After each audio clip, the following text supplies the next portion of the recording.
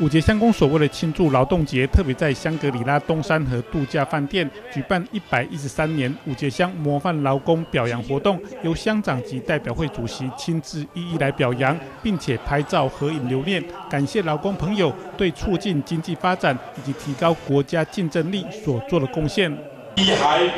比机械的这里做工会做速度足紧的，劳工变成慢慢慢慢工会。会愈来愈歹找，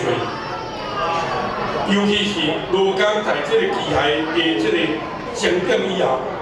危险性的劳工愈来愈多，为了爬上爬上悬落上低，甚至去公司内底食头路，嘛有真侪化学即个的伫个空气，造成咱的劳工的即个性命的即个损失。咱就知影，劳工是咱。国家、社会、家庭上重要、趁钱的基础，嘛是国家跟人咧比拼上重要的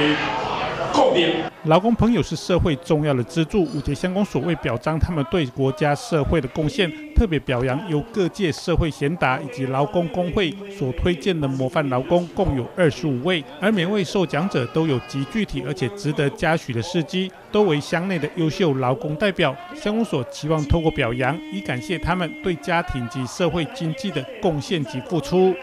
宜兰新闻记者石世明采访报道。